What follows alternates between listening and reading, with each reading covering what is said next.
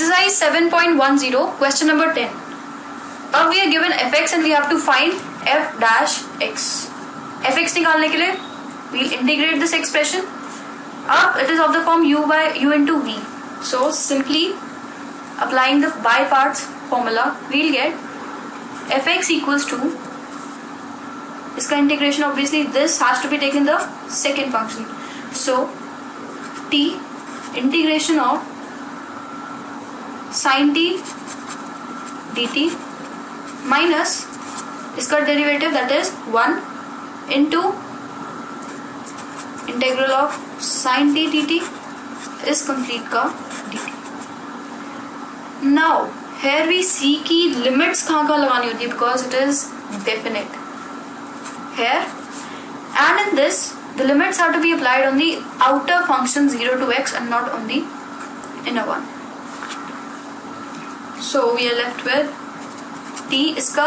integration will be minus cos t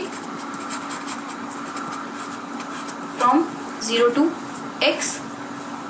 minus इसका integral is minus cos t so plus cos t dt integration from 0 to x which is nothing but x डाला so it will be minus t into cos x minus 1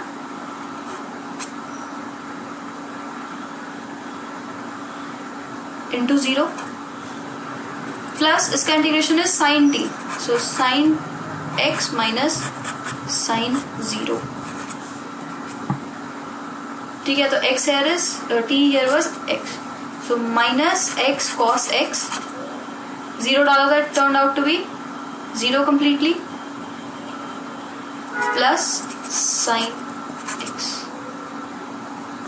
And on differentiating this because we have to find f dash x which is equal to minus cos x plus x sin x plus cos of x. So this this gets cancelled and we are left with the answer as x sin x इसमें देखने वाली बात क्या है कि this and this function are equal if we put x equals to t.